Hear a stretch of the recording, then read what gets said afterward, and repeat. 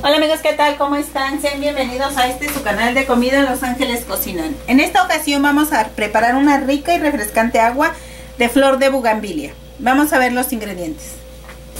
vamos a necesitar lo siguiente. Voy a necesitar 3 litros de agua.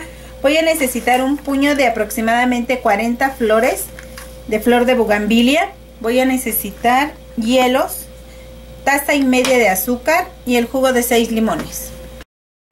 Aquí perfectamente están muy bien lavadas las flores. Vamos a poner un litro de agua a hervir. Ya que está hirviendo el agua, vamos a agregar lo que son las flores de bugambilia. Y las vamos a dejar hervir por 5 minutitos. Pasados los 5 minutos, ya vemos que la flor ya no tiene color. Le vamos a apagar. Y la vamos a dejar enfriar. Aquí tenemos nuestra agua. Vamos a endulzarla. Le vamos a agregar el azúcar. El azúcar va a variar de acuerdo a como ustedes les guste de dulce. Eso ya lo dejo a su criterio. Yo para lo mío voy a utilizar taza y media. Ya que donde hervimos la flor, el agua ya se, enfrió, la vamos a pasar aquí por un colador. Y la vamos a agregar aquí en la jarra.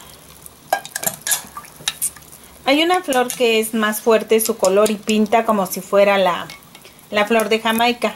Pero aquí lo importante para mí en lo personal son los beneficios y el sabor que deja la flor.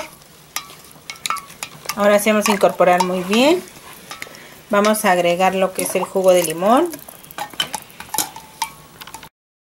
Por último vamos a agregar lo que son los hielos.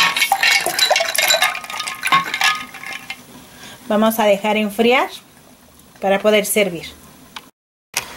Y pues bien, finalmente este es nuestro resultado. Recordemos que la flor de bugambilia es muy buena para quitar tos, para este limpiar el pecho cuando tenemos mucha tos. En agua queda riquísima. Espero y les haya gustado. No se olviden comentar, suscribirse a mi canal, compartir y nos vemos para el próximo video. Adiós.